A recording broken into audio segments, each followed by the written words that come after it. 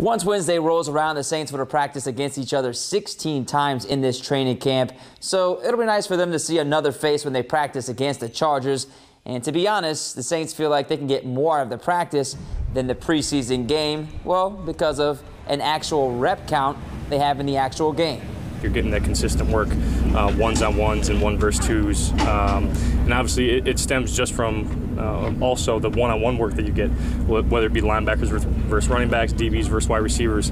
Um, that daily competition is great for learning. When you get to see different players, different types of rushes, different defenses, you get to work things in a practice that otherwise you'd be working in the game, you know, and uh, I think that's really beneficial. It's certainly beneficial for young guys that are going to see a front that is not our front. And for the defense, they're going to get to see and face six-time Pro Bowl quarterback Philip Rivers. Played against him last year, and I know he's a very savvy, uh, savvy veteran quarterback. Obviously, he has a great control of that offense. So I'm definitely excited to be able to go against him and practice these next few days and um, get ready for that preseason game again. There's going to be a handful of these games where you might say you're playing an elite quarterback. And so to get work, no difference than what our defense sees here, but now maybe a little different look, a different style of maybe offense. On top of the chance to get in two very good practices, Zach Strief feels like this trip can serve another purpose we're all ready to get out of this weather for a little bit. And um, you know, these these trips away from home for the preseason are always good bonding opportunities.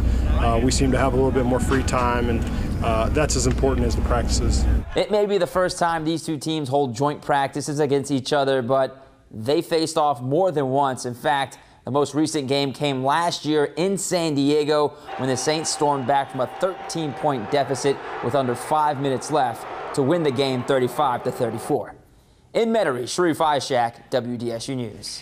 And